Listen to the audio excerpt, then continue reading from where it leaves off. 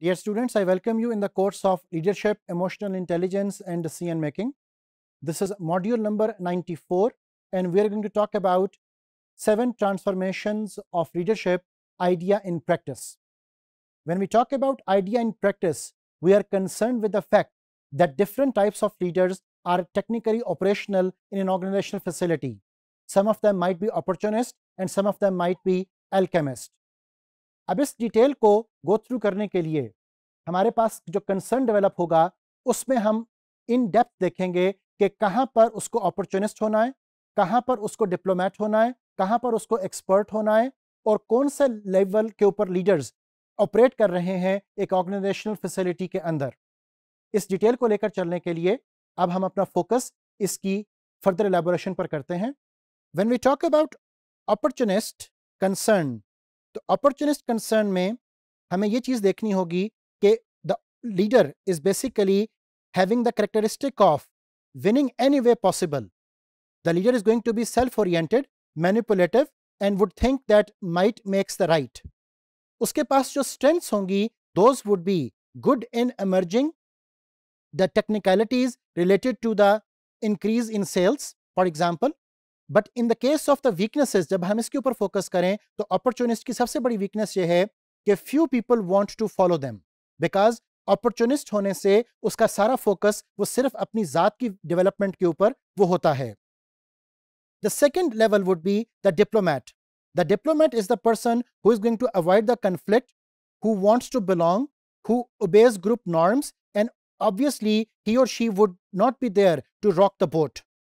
इस केस में जो उसकी मेजर स्ट्रेंथ होगी कि वो टीम ओरिएंटेशन के ऊपर अपना फोकस वो मैक्सिमम करता है। जिसके बरक्स अगर हम वीकनेस साइड को देखें तो can not provide painful feedback and make hard decisions that is the deficiency related to the diplomat type of being a leader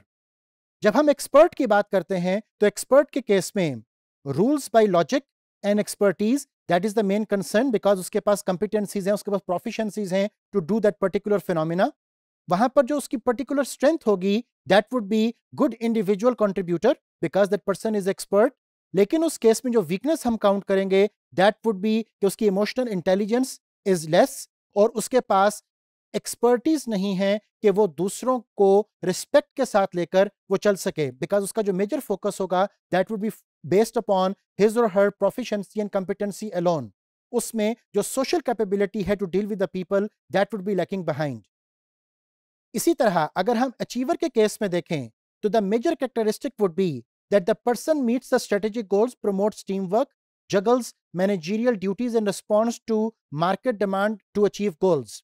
लेकिन इसके साथ साथ अगर उसकी स्ट्रेंथ को काउंट किया जाए तो well suited to managerial work लेकिन अगर हम वीकनेसेस साइड को देखें तो उस सूरत में उसके पास out of the box thinking वो नहीं होती because the person is too much focused upon the work outcomes rather than coming up with creativity and innovation.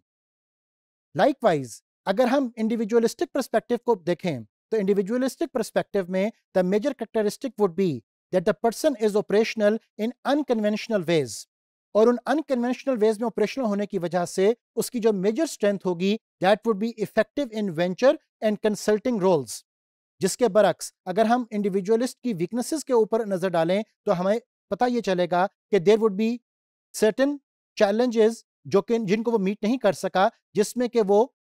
Irritate करेगा अपने कोलीग्स को, वो बॉसेस को इरिटेट कर सकता है और वो ऑर्गेनाइजेशनल प्रोसेसेस में बाज़ात इग्नोरेंट होगा बिकॉज़ उसका जो कंसर्न है that is majorly on the development and the launching of the different new ventures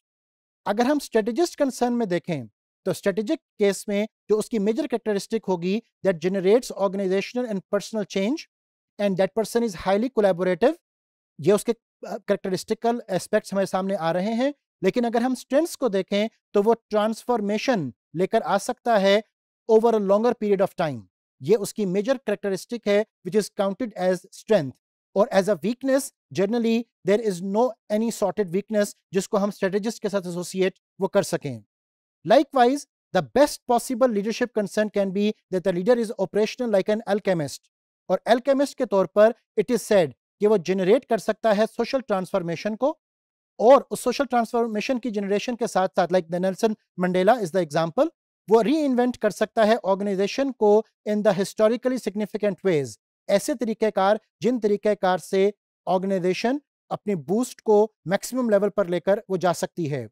अगर हम एल्केमिस्ट की स्ट्रेंथ्स को देखें तो the alchemist they is there to lead the alchemist can basically bring about a change which is not just linked with organizational facility बल्कि वो society के major aspects को भी हॉलिस्टिक परस्पेक्टिव्स में भी एक चेंज को लीड करने की कैपेबिलिटी वो रखता है। अब जब हम एल्केमिस्ट के तौर पर एक लीडर को पिक कर रहे हैं तो नो डाउट उसके अंदर जो ट्रांसफॉर्मेशनल कैपेबिलिटी होगी, वो सुपरलेटिव डिग्री की होगी। उसके पास ह्यूमिलिटी होगी उसके पास विल पावर होगी, वो लेवल फाइव का लीडर होगा और उसका concern would be like an alchemist dear students अगर हमें सारी बात को कंक्लूड करें तो याद रखिएगा कि different people develop with different pace towards the direction of becoming leader some people might start as an opportunist but with the passage of time with the exposure with the right experience with the gain of knowledge they can become alchemist they can become strategist ये सारा depend करेगा कि उसकी involvement उसकी engagement उसका enthusiasm उसका passion वो कितना है। Thank you very much